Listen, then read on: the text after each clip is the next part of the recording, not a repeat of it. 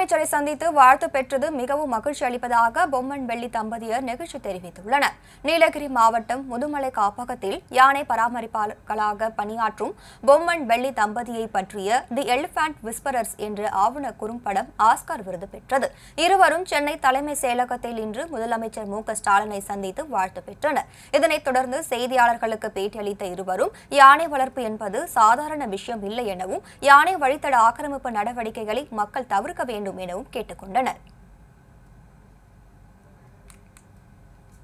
யானை குட்டியெல்லாம் வளர்க்குறது நம்ம சர்வசாதாரணம் கிடையாதுங்க.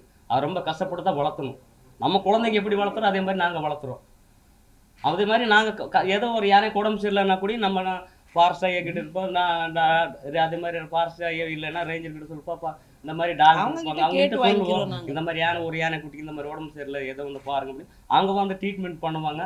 நம்ம அதுக்கு அதுக்கு தகுந்த மாதிரி நாங்கள் சொல்லுவோம். அதே மாதிரி அவங்க நம்ம ஃபாரஸ்ட் ரேஞ்சர் ரேஞ்சர் என்ன சொல்லுவாங்க அதே மாதிரி நாங்கள் நடந்துக்குவோம். எங்கேயும் கேட்க மாட்டாங்க. அவங்க சொன்னா இவங்க வேற செஞ்சுட்டு போறாங்க. அதனால தான் ஒண்ணு ஊர் மக்களுக்கு வந்து ஏன் அடிக்கிறது? வந்து நம்ம அதிகாரிங்க சொல்ற மாதிரி இருந்துச்சுன்னா நான் அது அவங்களுக்கு ஒரு பாதுகாப்பா இருக்கும்.